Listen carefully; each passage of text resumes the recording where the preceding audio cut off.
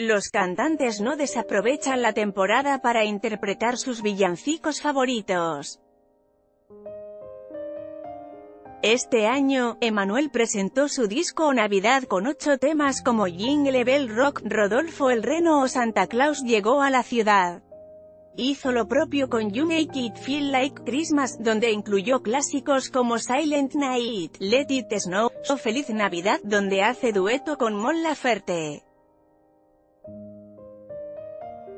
Dibujos animados para los más pequeños, y también para los más grandes, Cartoon Network ofrecerá un especial navideño que comenzará desde hoy a las 10 horas hasta mañana a las 8 de la noche.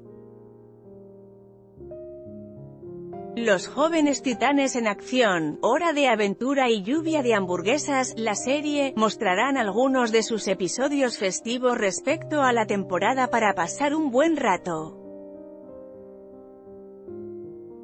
Pista de hielo. Si nunca lo has intentado este debe ser el año, date una vuelta por la pista de hielo más cercana a tu localidad.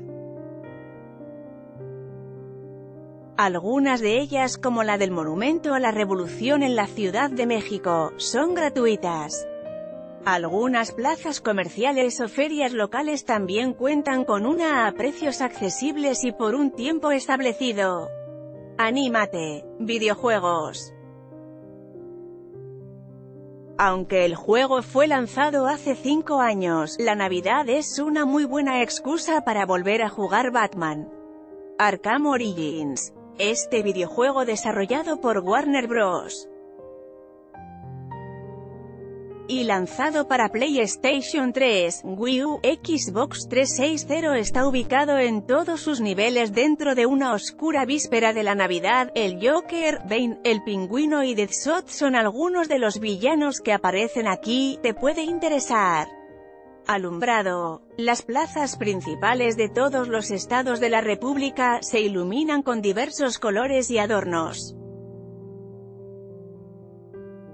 Es una opción gratuita que, junto con los amigos, la pareja o la familia se vuelve un buen plan, visitar el centro de la ciudad, tomar un ponche y caminar por los parques de nuestro estado. Televisión. Las escalofriantes aventuras de Sabrina extendió el éxito de su primera temporada con un especial navideño que estrenó hace unos días en Netflix. El episodio de una hora se centra en la llegada del invierno a la casa de Sabrina Spellman, los planes que realiza para recibirlo y cómo estos terminan metiéndola en problemas bien. Danza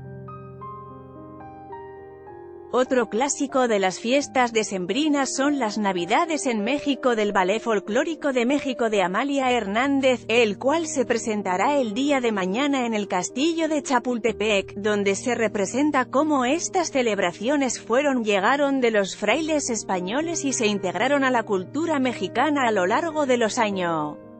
Noche familiar aunque hay muchas opciones para entretenerse antes de la cena, lo cierto es que la mejor opción es pasarla con la familia, siendo parte de la preparación de la cena y manteniendo las tradiciones como la piñata, el pedir posada o simplemente el reunirse alrededor de la mesa para platicar y pasarla bien. Teatro los escenarios también se llenan de fiesta y diversión, para muestra de ello están las pastorelas, aunque hay algunas que no son tan clásicas, como Pachecas a Belén en el Teatro Venustiano Carranza, que tras 30 años consecutivos de presentarse en escena sigue siendo una de las favoritas por su humor negro y su peculiar estilo para contar una historia que comienza con un sexy arcángel Gabriel.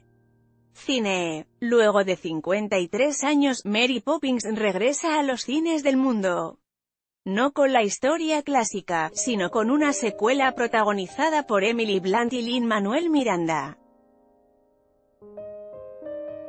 La cinta dirigida por el nominado al Oscar, Rob Marshall, Chicago, trae de vuelta a la famosa niñera décadas después de su primer encuentro con los hermanos Banks, esta vez para ayudar a los hijos de Michael que pasan un duro momento. Prontuario Grinch. Sí, también sabemos que hay a quienes no les entusiasman estas fechas, aunque les encanta que les den regalos y cenar rico. Es por eso que describimos cómo luce un Grinch, a ver si eres uno de ellos. El único frío que un Grinch quiere sentir es el de Winterfell, uno de los siete de Game of Thrones. La llegada del invierno es una buena excusa para comenzar el maratón de esta serie previo a la octava y última temporada que estrena en abril.